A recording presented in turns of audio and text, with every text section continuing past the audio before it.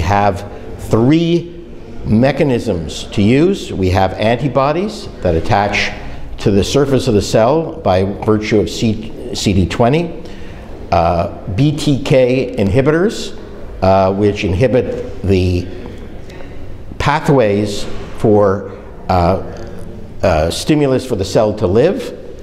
Uh, and in that pathway, you can also inhibit what's called PIK3 kinase inhibitors.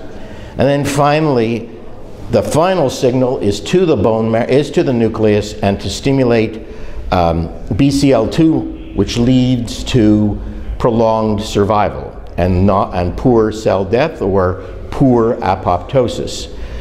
Uh, with this now three sets of drugs affecting all of those, the real question is not which, not to use novel agents, but what combination of those agents would be used to make the best response.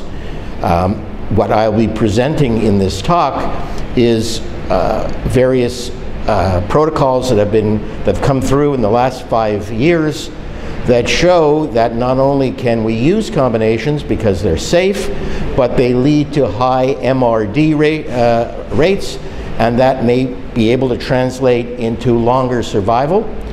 And finally, if, since these are very expensive drugs, if we can achieve MRD, can we actually stop treatment of these very expensive drugs?